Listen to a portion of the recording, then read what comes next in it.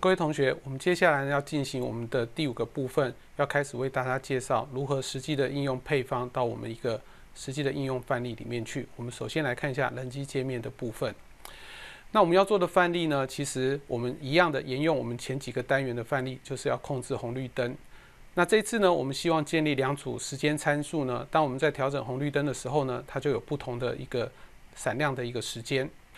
所以呢，首先我们要建立这个配方表。那根据我们前面所介绍的，我们只要到选项下面呢，选择配方，然后启动这个配配方的功能，设定我们所要的组数跟长度，还有建立我们配方表之后呢，就完成了一个初始的配方表的一个设定。然后呢，接下来呢，我们就要到我们人机界面的一个通讯参数设定的部分呢，完成我们相关的一个通讯设定。那这样子呢，我们就可以使用外部的一个装置记忆体来进行画面元件的编辑。那我们在画面的部分呢，因为我们要控制我们配方的调整，所以呢，我们就要去我们的模组参数的地方呢，去设定我们配方控制起标相关的功能。所以呢，我们在这里呢，我们可以在命令区里面把配方控制这个选项呢，一定要把它勾选起来。然后呢，我们就可以根据它不同位元的一个功能呢，利用按键来设定我们配方读取或者是写入或者是调整配方组别的一个这样子的功能。那利用这样子呢，我们就可以在一些按键元件的机体位置呢，利用我们设定的方式来改变配方的参数调整。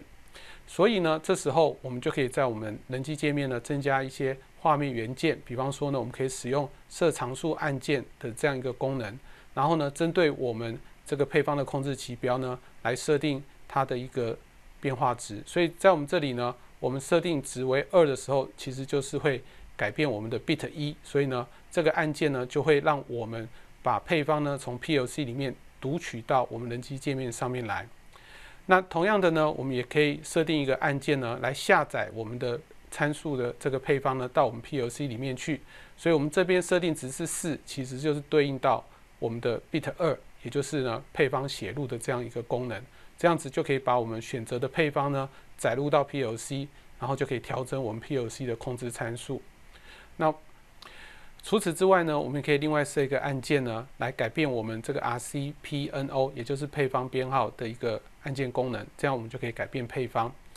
那最后呢，我们就可以在人机界面上面呢，达成这样一个画面的规划。除了刚才所提到的按键之外呢，我们呢还有一个可以输入配方编号的一个元件。那所以我们输入一个特定的值，就可以改变我们的配方。那这时候呢，我们就可以从不同组别的配方，根据你编号设定呢，载入到。我们配方的缓冲区。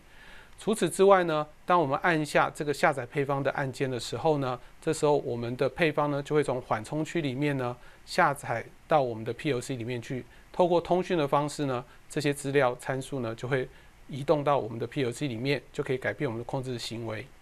那最后呢，如果我们需要把 PLC 里面操作的参数呢传回到我们人机界面上面来，那我们就可以利用这个按键呢。把它载入到人机界面里面。要注意的是呢，这时候同时有两组会被改变，一个是缓冲区，还有呢另外一个就是我们现在指定的这个参数组别呢也会被改变。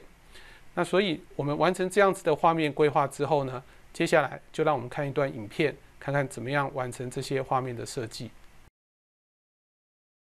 在这个范例中呢，我们将使用到人机界面的配方还有通讯的功能。所以呢，有关的设定呢比较繁琐，请大家稍微耐心的观看。首先，我们来看一下我们的配方呢，可以从这个地方选项配方来开启。开启之后呢，我们这边已经点选启动配方的功能。那我们把我们的配方呢储存在我们人机的断电保持区。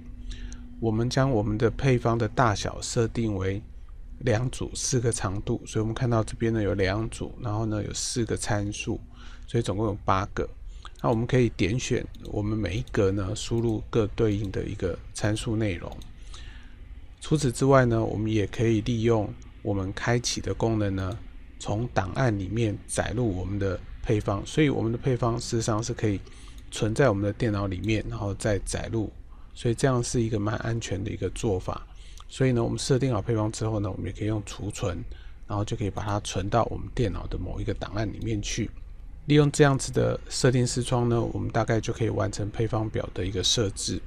然后呢，我们还有一个要设定的，就是我们相对应的在我们外部装置，我们的配方要使用哪些记忆体的位置。那所以我们透过记忆体位置的点选，那我们就可以选一个通讯铺，然后相对应的我们的 D 资料暂存器，然后呢起始位置，这样子呢就完成了我们配方的一个初始设定。那我们要记得一件事情，我们选用了 D 二十，那因为我们长度有四个，所以等一下呢，在我们的外部的 PLC 里面呢，从 D 二十二十一、二十二、二十三四个这条暂存器呢，就会被我们使用作为我们配方的记忆体。完成这样子的初始设定之后呢，我们就按确定。接下来呢，我们既然已经有一个配方。那所以呢，在我们的元件呢，我们就可以去规划跟配方相关的功能。那在这个地方呢，我们可以看到我们的配方呢所使用的，我们利用呢数值显示的方式呢把它呈现出来。所以呢，我们的配方的一个暂存器呢，从零一二三，这个是我们的配方的缓冲器。然后呢，我们的实际的第一组配方是从。RCP 四到 RCP 七，第二组配方呢，则占有 RCP 八到 RCP 十一，所以呢，两组总共呢，含我们的缓冲器，我们总共有三组，占了十二个资料暂存器。然后呢，我们也把我们的 PLC 上面的第二十到第二十三呢，利用资料显示的方式呢，把它传回到我们的人机界面画面上来看。这样我们就可以了解现在使用的参数配方呢，到底是有什么样的内容。除此之外呢，我们也设定了一个所谓的数值输入呢，让我们可以挑选我们的配方的组别。所以我们现在要用哪一个配方呢？我们可以利用这边的数值输入呢来决定。一旦我们完成了配方表的设置呢，接下来呢就是我们怎么去执行配方的改变。所以配方的改变呢？我们这时候呢，就要去看我们的模组参数的部分。在我们模组参数的控制命令，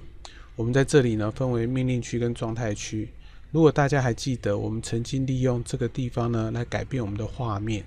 这时候呢，我们同样的，当我们设定好我们的命令区的起始位置之后，这时候我们是把它设在外部 PLC 的 D 零。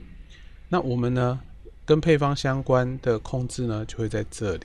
所以呢，我们会用到 D 五当做我们配方控制的一个暂存器。那这里面呢，我们也可以看到，当我们呢将 bit 一设为一的时候呢，就会执行配方的读取，也就是从 PLC 呢载回到我们的人机界面。那如果是 bit 二设为一呢，就会将配方呢从我们的人机呢载入到 PLC 里面呢做一个更替。这样子呢，利用这些各个 bit 的设定呢，我们就可以控制配方的改变。如果我们要检查配方的话，我们也可以利用旁边的状态区，用这边呢 D 十五来做检查。但是呢，我们暂时呢先省略掉这一块。所以呢，一旦我们设定好这个配方的命令区的记忆体位置，那接下来呢，我们就可以回到我们的人机界面的画面。所以在这里呢，我们看到我们利用这个呢所谓的设常数值的按键，